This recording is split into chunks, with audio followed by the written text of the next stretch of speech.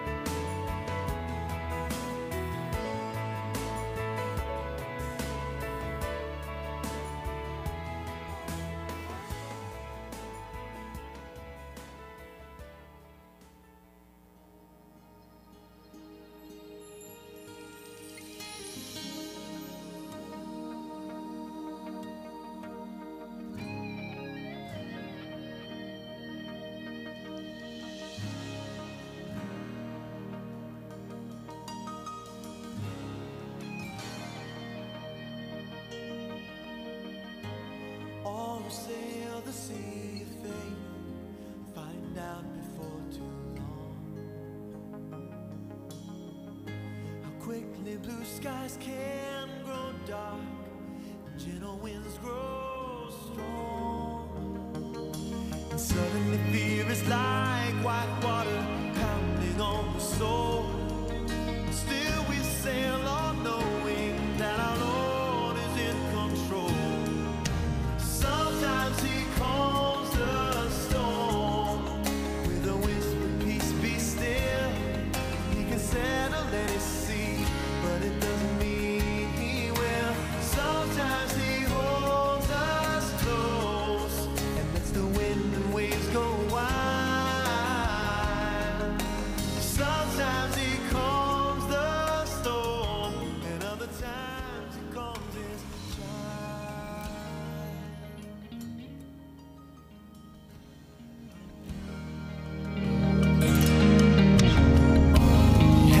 reason for each try.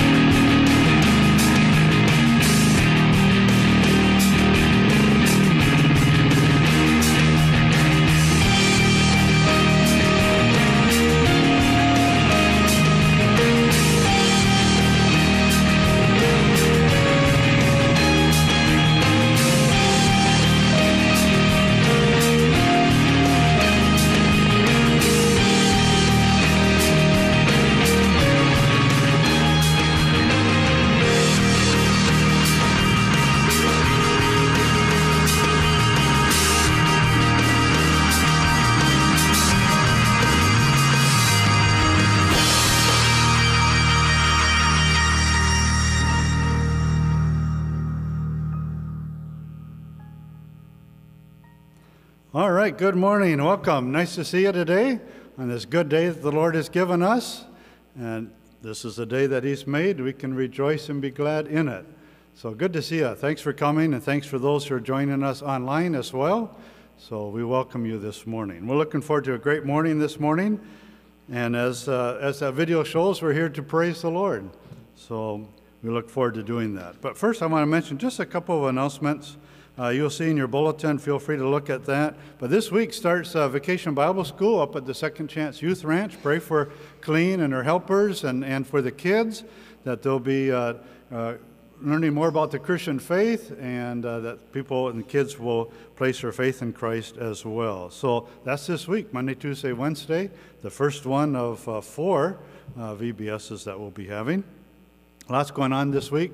Tuesday's the card class here at church. Then Wednesday we have our uh, uh, Bible study and prayer time at church as well, 1.30 here. And uh, Thursday night is the ladies' uh, Zoom uh, Bible study. So they're looking at Leviticus and Hebrews together. So if you're interested in being part of that too, feel free to see Katrina in the back there, and, and she can help you with that. You know, also I want to uh, say thanks to, um, I don't see them today, but um, Tom and Carol Myrick maybe when you came in, it's been there for a few weeks now, that bench that's right there by the front door. Uh, they uh, donated that bench. Uh, you can check it out, you can sit in it, it's comfortable. Uh, but also, I appreciate uh, the other day, I was out here and she's out here for a big part of the day. Uh, Carol was just weeding around the church, so we sure appreciate her doing that. So I wanted to mention that. Let's see, I think that's all that I'll mention. You can uh, look at the other things in there. But we have Psalm 54, verse 4. It says, Behold, God is my helper. The Lord is the upholder of my life. Let's pray. Lord, thank you so much for today, this good day. We give you thanks and praise, and how good it is, uh, uh, how, how exciting it is that we can praise and worship and honor you, the King of Kings, the Lord of Lords. And we're here to honor you. And I pray that this morning would do just that and that it would encourage and, and uh, lift up and help uh, all the people here as well as we turn aside from other things and put our focus on you and give you thanks and praise. For it's in your strong name we pray. Amen.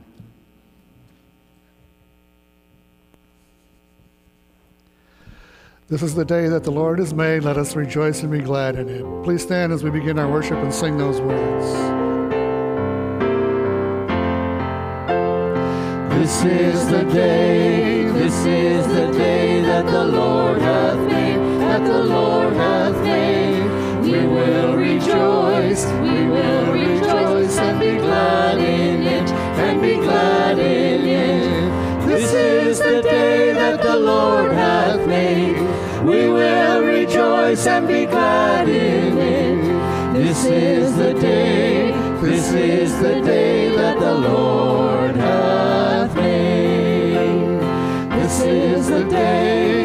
this is the day that the Lord hath made, that the Lord hath made. We will rejoice, we will rejoice and be glad in it, and be glad in it. This is the day that the Lord hath made. We will rejoice and be glad in it. This is the day, this is the day that the Lord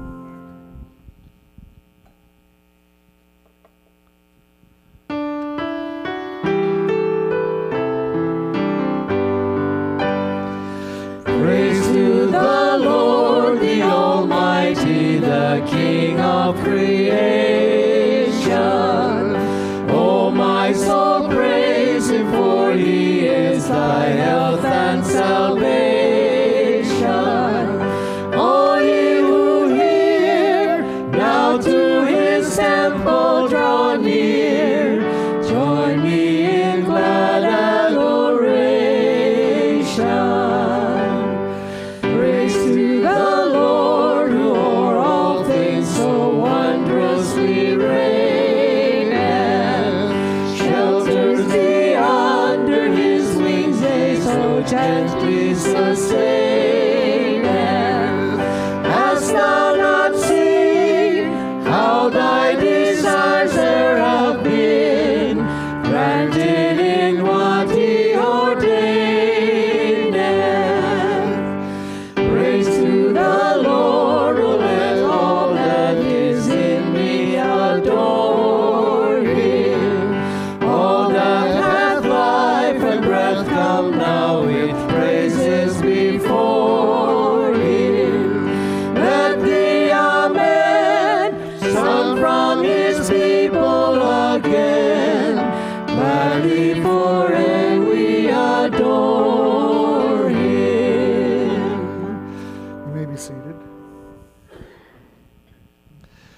the Lord and greatly to be praised in the city of our God.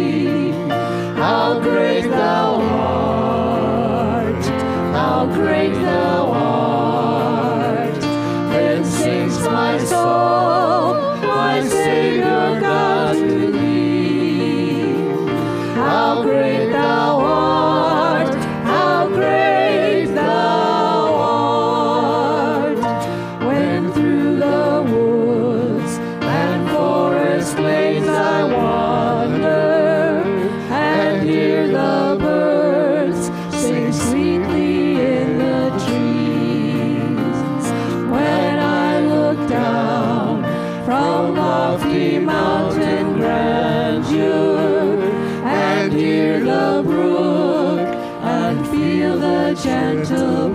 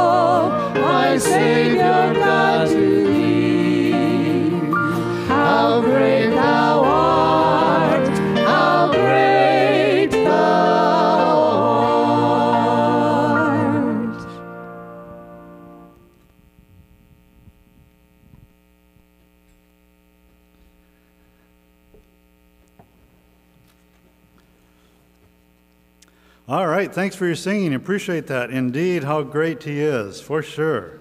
With all the things going on in this world and all the negatives that we can think on and probably do way too much, so to think on, keep the main things the main thing and, and on what God's doing and how great He is and worthy of praise. And like in the adult uh, Bible class this morning, we looked at from Revelation 1 18 descriptions and titles of Christ and how worthy of worship He is. And uh, what a, uh, a joy that, that is to see that and get a fuller picture of who Christ is and what He can do and what He's going to do. Well, I'd like to read for a scripture reading this morning from uh, Deuteronomy 10. Uh, Deuteronomy 10, verses 12 through 22, but I'm going to read it from the uh, New Living Translation this morning. Uh, but it should be on the screen as well, yep, behind me there. Deuteronomy 10, 12 through 22. Here, Moses is speaking to the uh, people of Israel. They are uh, about to enter the promised land, and he's recapping past events, and he's giving them these final encouragements here. And so in verse 12, he says, And now, Israel, what does the Lord your God require of you? He requires only that you fear the Lord your God and live in a way that pleases him, and love him, and serve him with all your heart and soul. And you must always obey the Lord's commands and decrees that I'm giving you today for your own good. Look, the highest heavens and the earth and everything in it all belong to the Lord your God. Yet the Lord chose your ancestors as the objects of his love and he chose you, their descendants, above all other nations, as is evident today. Therefore, change your hearts and stop being stubborn. For the Lord your God is the God of gods, and Lord of lords. He is the great God, the mighty and awesome God, who shows no partiality and cannot be bribed. He ensures that orphans and widows receive justice. He shows love to the foreigners living among you and gives them food and clothing. So you too must show love to foreigners, for you yourselves were once foreigners in the land of Egypt. You must fear the Lord your God and worship him and cling to him. Your oaths must be in his name alone. He alone is your God, the only one who is worthy of your praise, the one who has done these mighty miracles that you have seen with your own eyes. When your ancestors went down into Egypt, there were only 70 of them, but now the Lord your God has made you as numerous as the stars in the sky. All right, let's pray. Lord, I thank you so much for your word. What a great challenge it is and encouraging to us. And as it says, we were to have this reverence for you, this fear of you, this respect for you, to seek to obey you because we want to obey, we want to honor you. Because Lord, you we love as your word says because you first loved us. Thank you for setting your love upon us. And so we give you praise and thanksgiving for that. May our hearts always be filled with praise and our, our mouth with your mouth with your singing and declaring your glory throughout the day, because as we read, you are the only God, the Lord of Lords, the King of Kings, great and awesome and all that you do. Every way that of yours is perfect. And we thank you for your perfect wisdom and your power Thank you for how you're at work in our lives.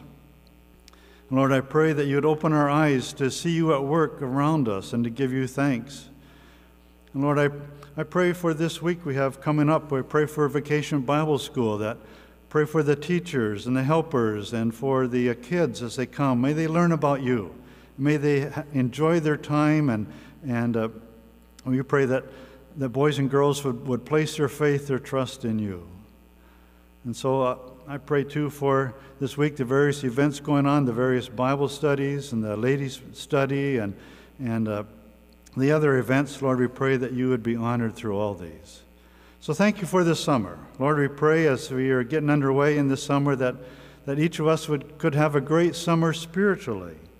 That this would be a time where our spiritual lives can grow and, and soar in new ways as we look to you and trust you. So thank you for this morning. Thanks for this good day. Thanks for your refreshing rains. Lord, we pray that the rest of this service might honor you. And we thank you too, Lord, for opening people's hearts and their willingness to give. Thank you for how you continue to meet our needs in all kinds of ways. And so we ask all this now in Jesus' mighty name. Amen.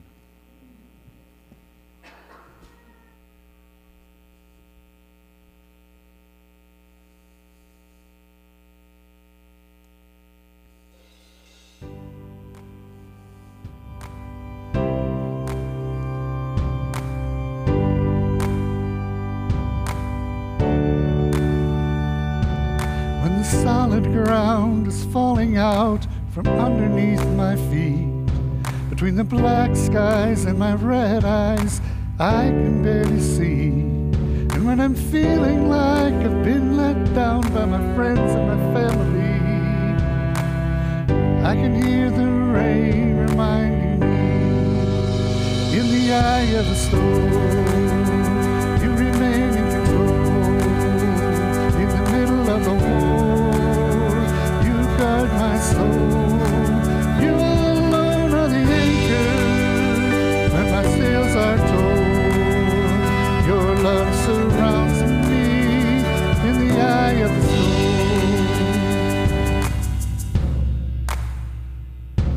When my hopes and dreams are far from me and I'm running out of faith, I see the future I pictured slowly fade away.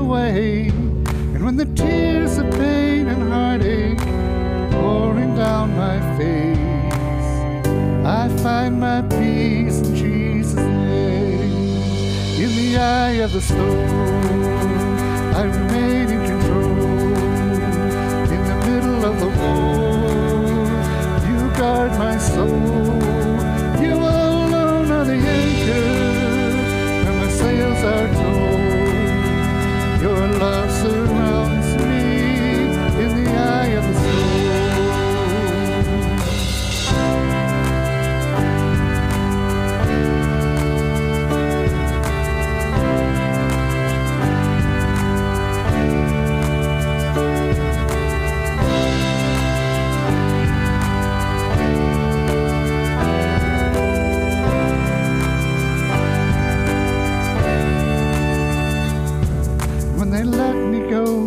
just don't know how I'm gonna make ends meet. I did my best, now I'm scared to death, I might lose everything. And when a sickness takes my child away, there's nothing I can do. My only hope is to trust you. I trust you, Lord, in the eye of the storm. You remain of the war. You guard my soul. You alone are the anchor and my sails are torn. Your love surrounds me in the eye of the storm. You remain in control in the middle of the war. You guard my soul. You alone are the anchor when my sails are torn. Your love surrounds me in the eye of the storm.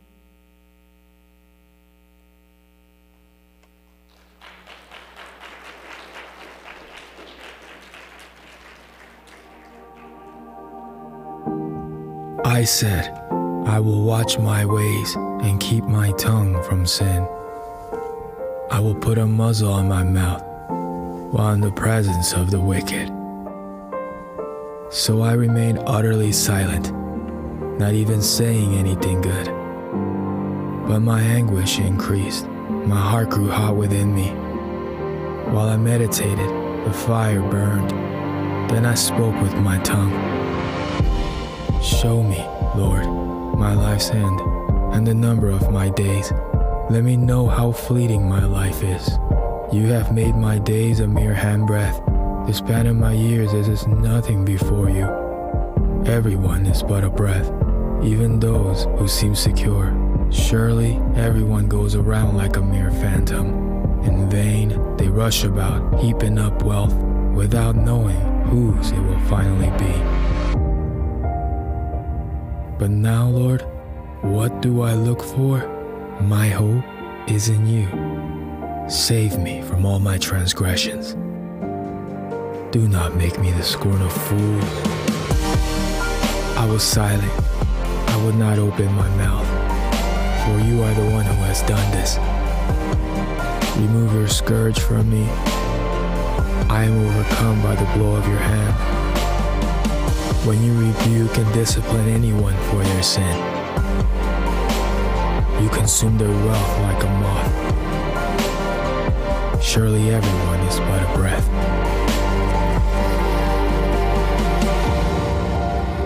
Hear my prayer, Lord.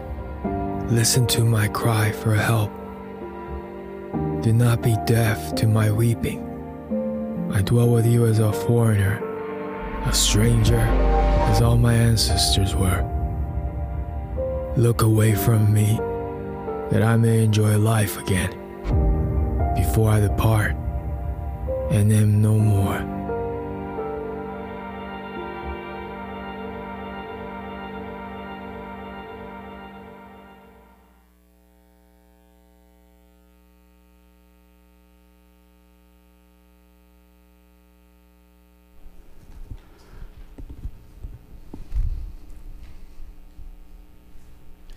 All right. Thanks, Tim, for that song. The good words to that song, so I appreciate that. And feel free, if you like, there's some uh, message notes in your bulletin. If you want to take that out and follow along, that'd be uh, fine. All right. I've entitled this uh, Is Your Heart of Praise on Fire or Ready to Fizzle Out? And I'd like to uh, begin by reading from uh, Mark 6, a very familiar story, probably to most. Mark 6, starting at verse 45. It says, Immediately, Mark liked to use that word a lot, immediately. Immediately he made his disciples get into the boat and go before him to the other side, to Bethsaida, while he dismissed the crowd. Because he just got done feeding the 5,000. And so he sends his disciples in the boat to go to the other side, and after he had taken leave of them, he went up on the mountain to pray. And when evening came, the boat was out on the sea, and he was alone on the land. And he saw that they were making headway painfully, uh, for the wind was against them. And about the fourth watch of the night, he came to them. So we're talking probably between three and six in the morning. Uh, so still in the night uh, walking on the sea. He meant to pass by them. But when they saw him walking on the sea, they thought it was a ghost, and they cried out. For they all saw him and were terrified. But immediately he spoke to them and said, Take heart, it is I. Do not be afraid. And he got into the boat with them, and the wind ceased. And they were utterly astounded for they did not understand about the loaves, what he had just, you know, fed the 5,000 with, but their hearts were hardened. All right. Let's begin in prayer.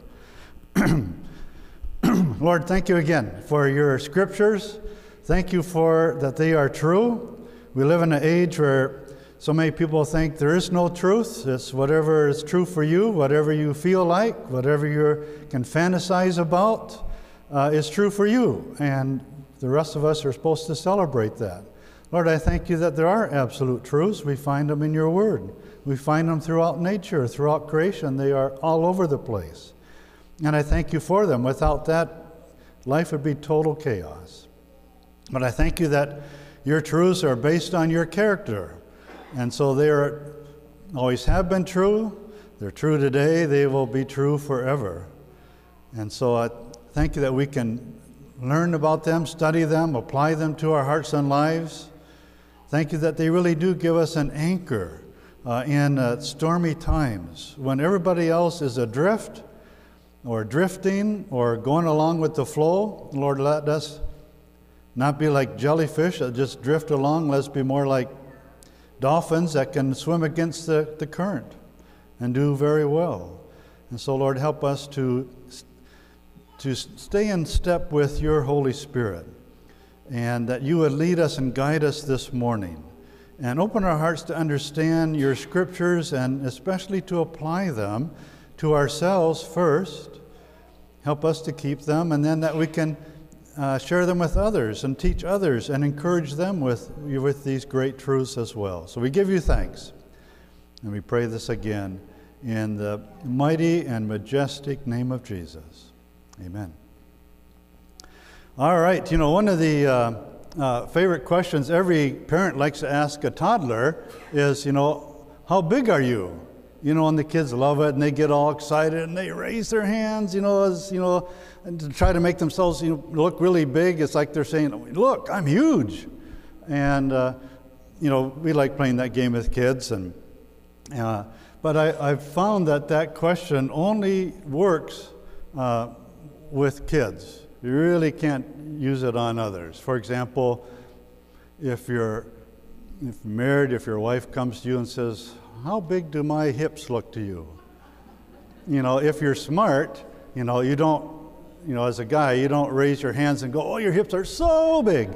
Uh, no, then you might find yourself outside seeing stars and, and it's not even nighttime yet. Uh, but we ask kids, you know, that question because we want them to realize they're growing. You know, we know that, you know, how kids think about themselves is very important. You know, we don't want them to think of themselves as tiny or weak or so on.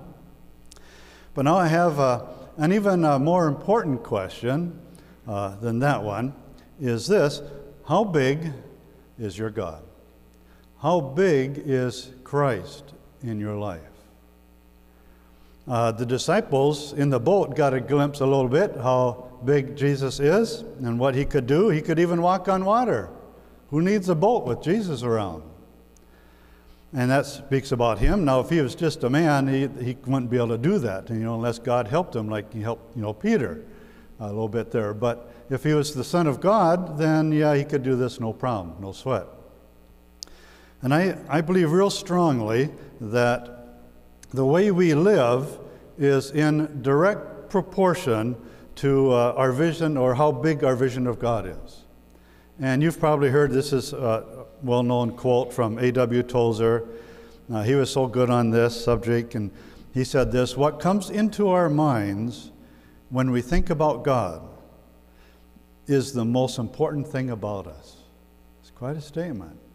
I think it's true. For example, uh, Billy Graham used to like to say, you know, if you have a, uh, a small God, if your view of God is small, uh, you're going to have big problems in your life. But if you have a, if your God is big, then in comparison, your problems are going to seem small compared to Him.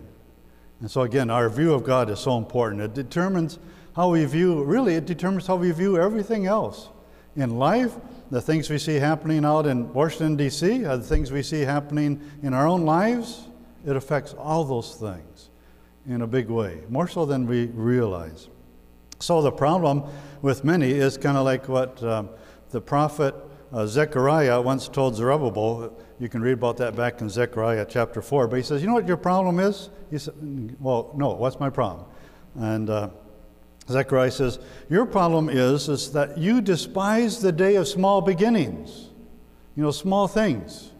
Uh, you know, you're discouraged because you're having trouble inspiring people to get to work, and, and it all seems like a small thing to you anyway and to them.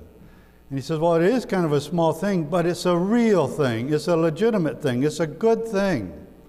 And we must not despise the day of small beginnings. Most things start out really small.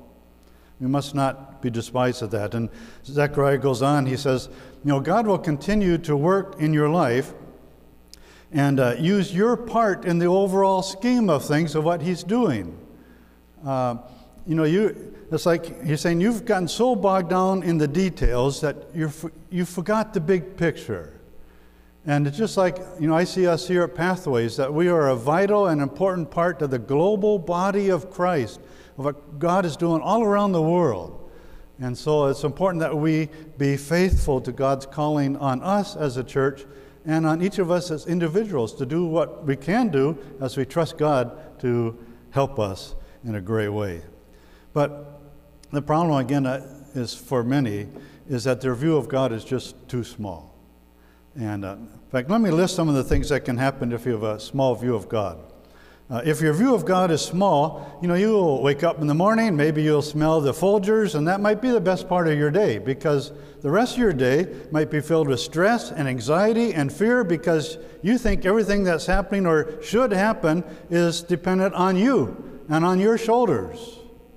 And we will seem very vulnerable in this big world. Or if your God is small, when we share our faith, maybe you might tend to shrink back because you think, boy, what happens if they ask me a tough question or something I can't answer? How, how will I handle that? Uh, or if you have a small view of God, it can be tough to be a, a generous person of faith because you think your financial security is all dependent on you or the stock market. Uh, or if you have a small view of God, we may be inclined to compromise or avoid challenges. Uh, because if, if we don't bask in the warm acceptance of God's love for us, and if we don't get our identity from Him, then yes, it's very easy to become slaves of what other people think. Or if we have a small view of God, you know, it can happen if someone gets mad at us, it can get us all twisted up in knots uh, because we don't have the security of knowing that God loves us. He's watching out over us. We can trust Him. So, you know, if your view of God is small, you might pray but without faith, or you might serve but without much joy, or you might suffer but without hope. All because we've not come to realize that our Heavenly Father and our, you know, our lives really are in His hands, who is totally competent and worthy of our trust, that He's all knowing, and He's a, a very loving Heavenly Father. You know, back in the uh, uh, 70s, there was a movie called uh, My uh, Bodyguard. Any you remember that? This, uh, we saw it in school. They showed it in school. I, I don't know why. Maybe the teacher wasn't feeling well or something. But anyway, as best as I can recall, was this, this, this little kid in school, and he kept getting picked on by others, especially this one big bully. And so finally, he, he came up with an idea. He says I'm, he was going to hire that, that big bully to be his bodyguard. And so the big kid agreed to it, you know, if, as long as he gets paid. And so uh, now all of a sudden, this little kid had this big bodyguard. And uh, so he, you know, he would, um, it doesn't matter where he goes, you know, because this kid was so big, it's like if Hercules married Wonder Woman, you know, he might, he might be their kid. You know, I mean, he was big. He, he didn't do much talking. He let his muscles do his talking. You know, he, he, uh, talking wasn't his thing. He, his thing was starting fights and ending fights. So I was, you know, this, this big kid. So now this little kid had him as his bodyguard. He could walk the halls in confidence. You know, he could uh, walk right up to kids in a fight and say, "Stop it," and they would. Not because of the little kid, but because of his big bodyguard standing, you know, right behind him. Uh, you know, it's his whole uh, outlet was changed. His whole perspective was changed. You know, no more fear. There's no more anxiety. He could, you know, a dark alley wasn't fearful for him anymore because with his bodyguard there. Uh, again, he had a whole new perspective on life. Now, just think if we could have a huge bodyguard around us all the time. You know, think of that. Let's say if you could have somebody like Goliath, you know, with you all the time. Um, you know, then I could come up and say, uh, I heard you didn't like the sermon. Is that right? Goliath, get him, you know, or something. Uh, no, I wouldn't do that. But, but we don't need one anyway. The believer already has one, uh, one far greater than any bodyguard you could hire, uh, and that's Jesus himself. Uh, just like he said to his disciples in the boat, he said, Take courage. You know, it is I. Don't be afraid. When Jesus is around, yeah, fear tends to go. We don't have to be afraid when he's around. So, in fact, if you want to read a really inspiring account, uh, one of my heroes of the faith was uh, John Paton, who was a missionary to the, some South Sea islands. And, uh, and even some of the, on some of the natives on some of the islands were cannibals, and he was sharing the gospel with them. And, and it's, it's an aspiring account of how, on several occasions, God would send angels to protect him, uh, like his bodyguard. And uh, at times he wasn't even aware of it. Uh, but I encourage you to read about his, his life. Uh, very encouraging, very inspiring.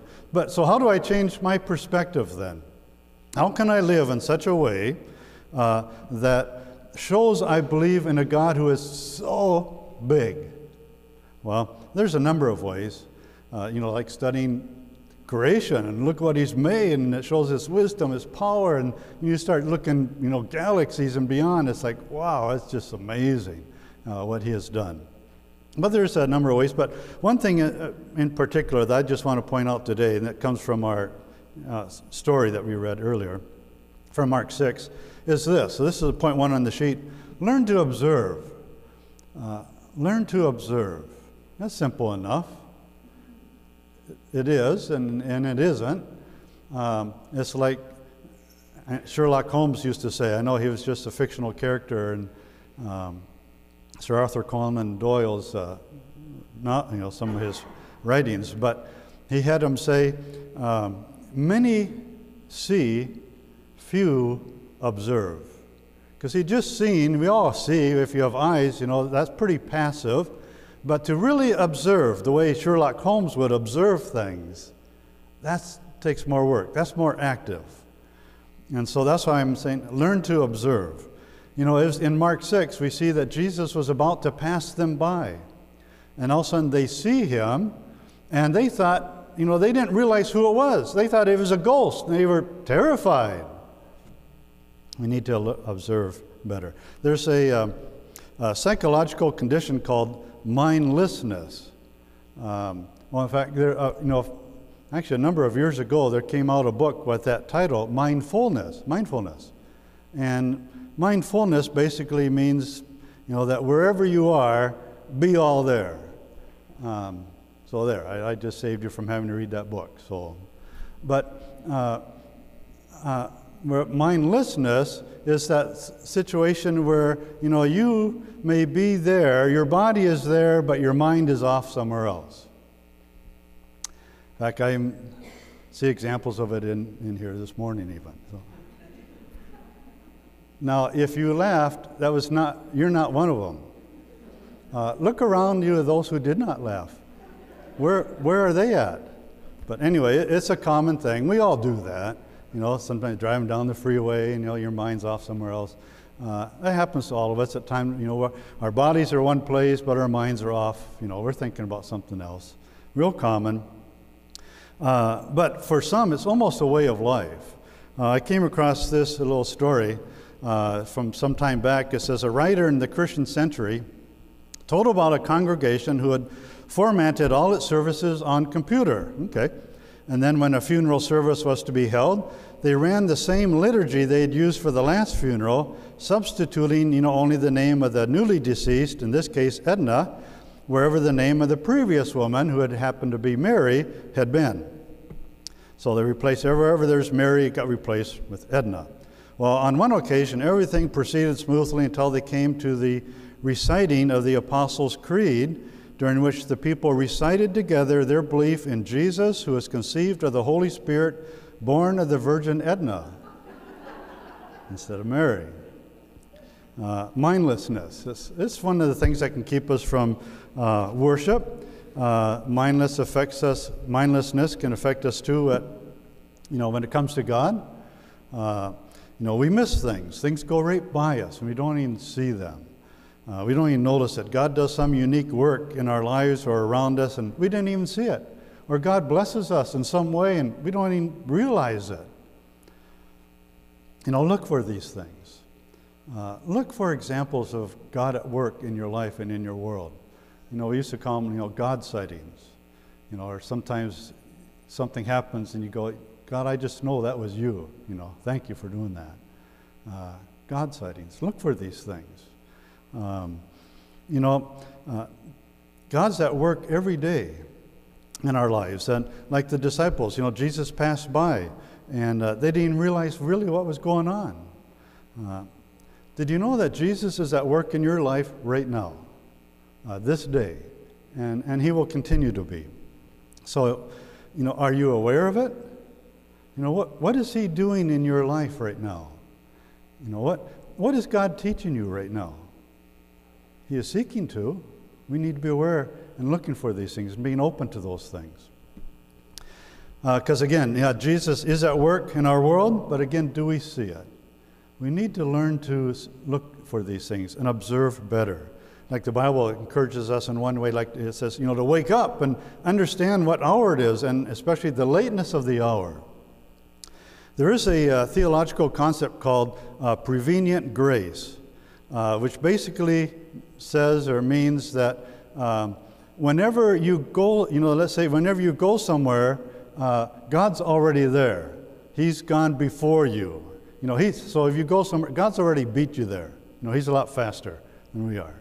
And so when we get come into wherever we go into a situation, we don't have to ask first, well, what should I do? We ask first, we learn to observe and we go, what is God doing here? Because God's already here. He's already at work in this situation. Even before we got there, He's working. What's He doing? And, uh, you know, what's really going on here? And, okay, now what, what can be my part? What can I do to, you know, be, you know, join in with God with what He's doing here? I like that, prevenient grace. Because, you know, why do our lungs keep filling with air and we don't even pay attention to it? Uh, you know, why does the sun keep coming up every single morning uh, without, you know, anything from us? Uh, or let, uh, let evolution try to explain how a little larva can turn into this creepy little cr- caterpillar, you know, creeping along, and, and then turn into, you know, make a little cocoon, and then uh, turn into this beautiful butterfly within days. It doesn't take millions of years for him to evolve into that butterfly. Evolution has no answer for that. Um, that's kind of an embarrassment to evolution. They don't really like to talk about that one, and many, many others. But, uh, you know, or where does all this beauty come from? If it's just survival of the fittest, what place, why is there beauty at all? That doesn't seem to do anything. In these hidden mountain values, you know, valleys and places where nobody's ever going to see them, there's all this beauty. Why is that? Or, um, you know, all these things I think cry out, you know, God is alive, God is real, God is good, God is at work. God is so big, we could say, unless we're mindless and we miss all these things. But let's not. Let's learn to observe. And then uh, I have point two on the sheet respond and worship. When we see how big God is, we see Him at work in our lives, in our families' lives, uh, it should lead us to worship. Notice the disciples' response. Uh, if we look in Matthew 14, uh, starting, I'm going to start verse 31. Here's the same story, but in Matthew. And uh, this is in Matthew, he uh, adds this element to it. This is the same. They, he just got done feeding the 5,000. They go on this boat. The storm comes. Jesus goes up on the mountain to pray. And he's you know, purposely waiting till you know, the fourth watch of the night. And then he comes and they go, ah, they were terrified. It's a ghost. And then you have this situation where Peter says, okay, Lord, if it's you, you know, tell me to come walk on the water. And Jesus, fine, come. And uh, Peter starts off doing well, you know, walking on the water, wow. And then he takes his eyes off Jesus and look, what am I doing? You know, and he sees the waves and he starts to sink. And of course, Jesus immediately rescues him and they get back into the boat. And then you have verse 31 that says, Jesus immediately reached out his hand and took hold of him, saying to him, Oh, you of little faith, why did you doubt? And then this, and when they got into the boat, the wind ceased. Interesting. And those, it shows even has the power over the wind. And that struck them, and they said, And those in the boat worshiped him, saying, Truly, you are the Son of God. See, earlier, and we, have, we read that section in Mark uh, 6, and Mark 4, they'd ask the question, Who is this guy?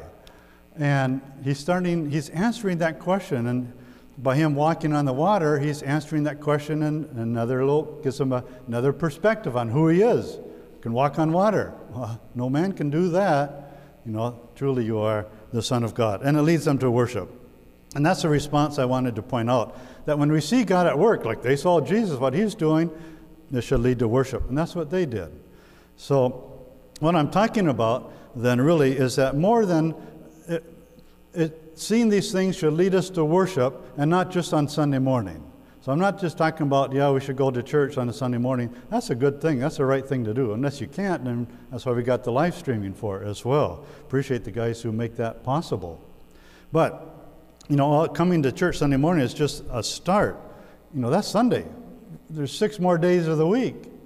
Uh, you know, in some ways, uh, what I do here Sunday morning is not all that different than what I do the other days of the week. Uh, instead of preaching to you, I, I preach to Debbie. Uh, poor girl. I say, now listen up, here's what's going to go down around here. And she goes off and does whatever she wants anyway. And then I take up an offering. And she doesn't even put anything in there. No, she doesn't do that. But, but what I mean is that you can worship anywhere. We know that, but do we do that? Uh, we can worship anywhere, and we should. You know, wherever I go, uh, can be, we can be open to seeing glimpses of God at work and uh, in His creation or in His providential care of us, and we can respond with worship and thanks. I think, do we have that verse, uh, Psalm 71? I think we do. You want to put that up? Yeah. You know, may this always be true of us. It says, My mouth is filled with your praise and with your glory all the day. Isn't that a great, that's a great prayer. And may that be true. What a good thing in these days of so much negative news, so much deceit and manipulation of everything, that to focus on the positive things and what God's doing and uh, lift our eyes off the details and to see the bigger picture of God at work and how his everything prophetically is falling right into place. Um, that's encouraging. And so our mouth can be filled with praises. You know, I sometimes wonder if boredom in worship or boredom in life, uh, it's not so much a matter, say here in church, of uh, song selection or style. Um, although we all have our preferences in those, that's fine, that's normal, of course we do. And usually our preferences are pretty strongly held because music affects our emotions. And our emotion, you know, once our emotions get involved, you know, we hold those convictions pretty strongly. Uh, and we all have preferences, of course. One thing we need to remember is that the song that you might not, not like is very often is somebody else's favorite song. I remember that a few years back. I commented on some song to someone, and I said, Man, that thing's so dated, needs to go. And they go, What? That's my favorite song.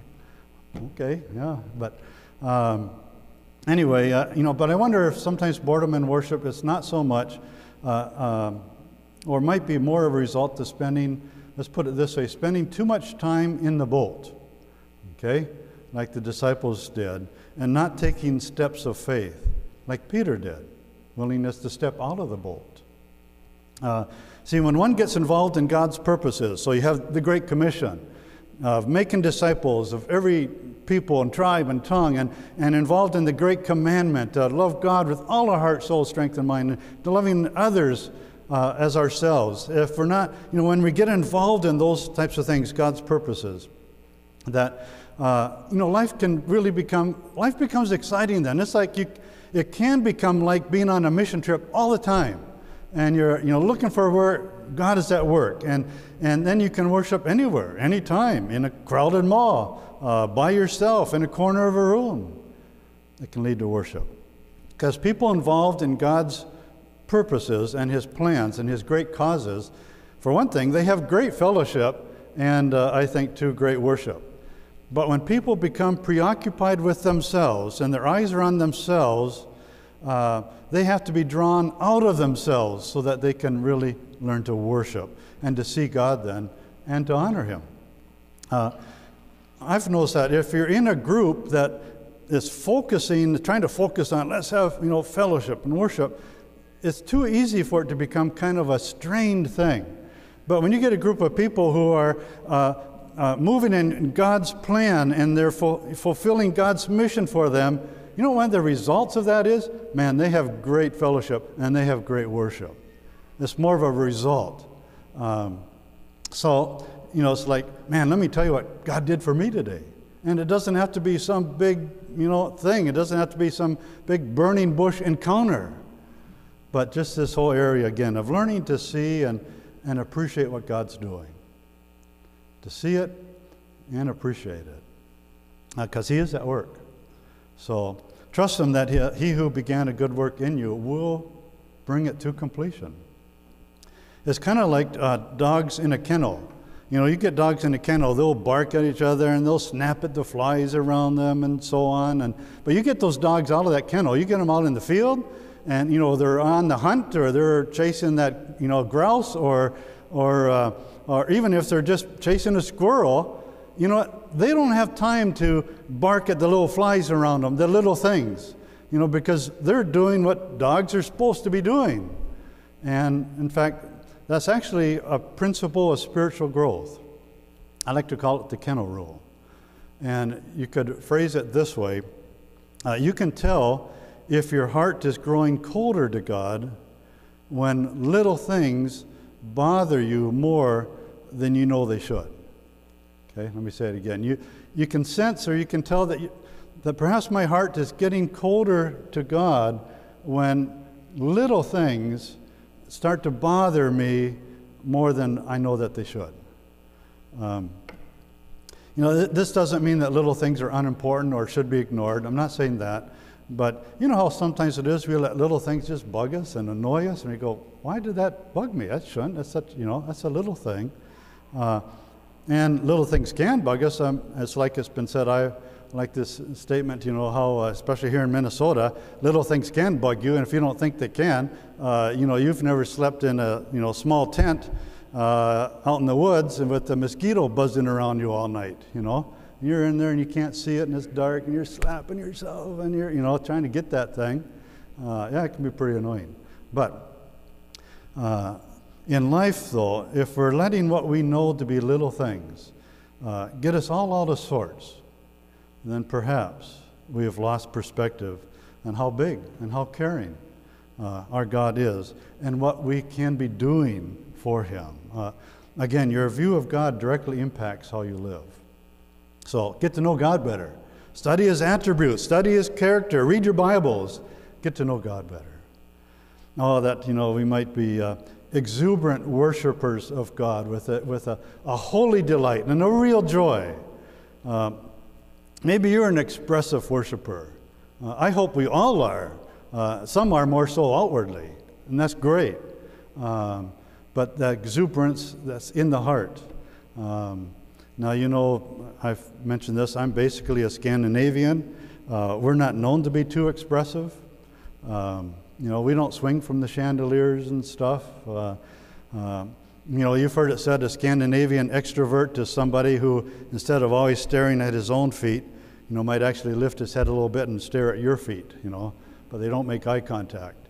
Um, or if you're a Scandinavian, if someone, you know, you catch a Scandinavian saying things like, you betcha, or, or, you know, that was pretty good, or yeah, sure.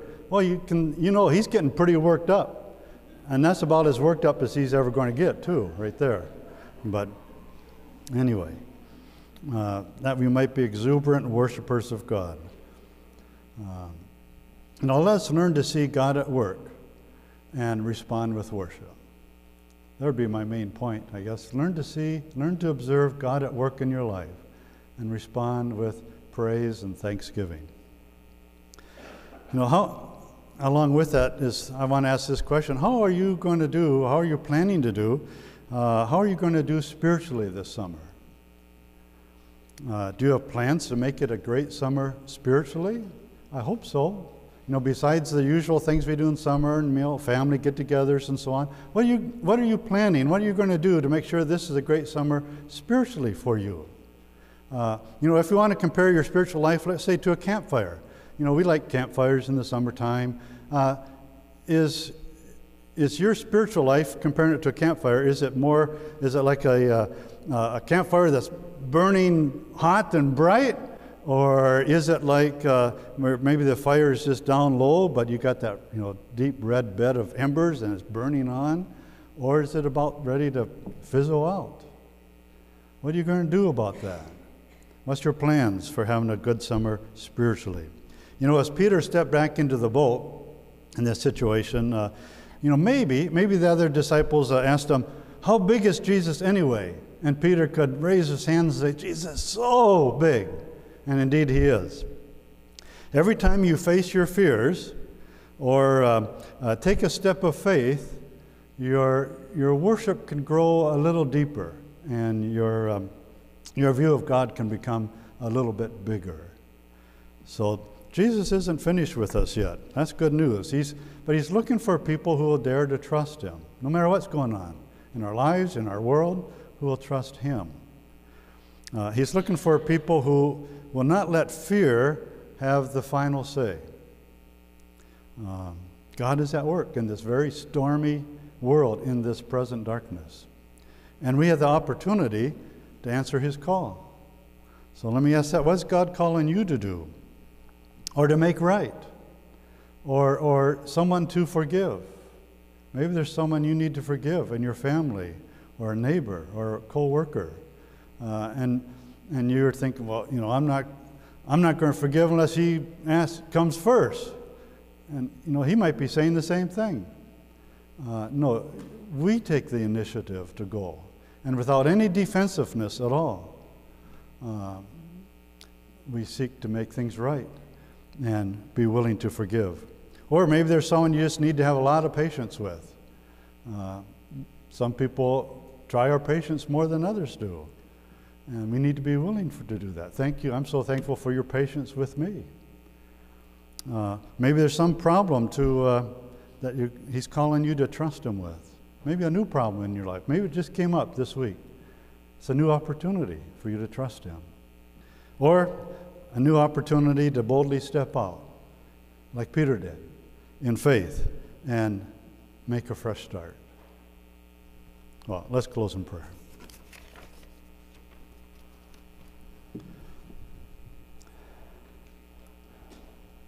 Lord God, the God of the universe, of all that there is, you've created all things. You're the great creator who always was and is and always will be. You are the living one. You hold the keys of death and Hades. What man can say that? No man can say that.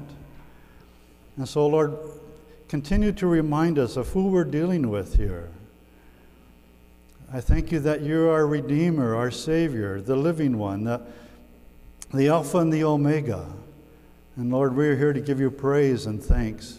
And we ask that you might open our eyes to see you at work in our lives and in our world, and, and to, to pray and to ask you to show us what it is you're doing, and how can we better understand what's going on, and what is it that you're teaching, teaching me, teaching us, so that we can then respond with praise and thanksgiving. Lord, help us to trust you. Whatever may come in this new week, Lord, our trust is in you. Whether storms come, whether clear sailing, whatever, all those things come at various times. Lord, help us to trust you and give you thanks. And so, Lord, we do that now. We give you thanks and we praise your holy name. Help us to be joyful worshipers with a holy delight in you and what you have done and what you are doing in our lives and what you have promised you will yet do. Lord, help us to continue to do better and standing on your promises and trusting you through all things. So thank you for this good morning. We pray now in Jesus' name. Amen. Please stand for the closing hymn.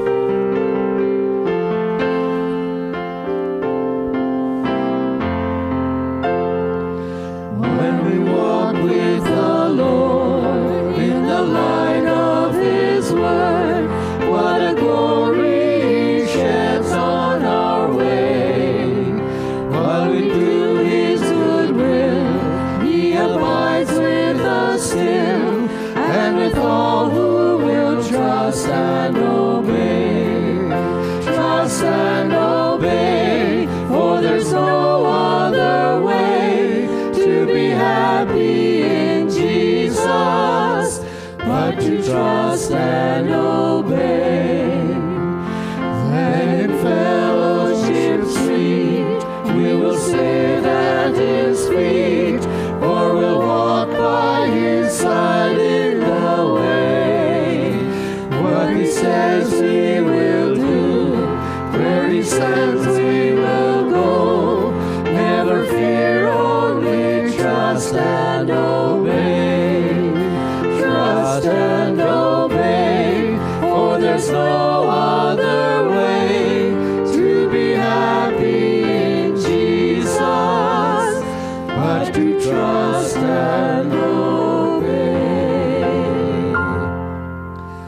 To him who is able to do far more abundantly than all that we ask or think, according to the power at work within us, to him be glory in the church and in Christ Jesus throughout all generations, forever and ever.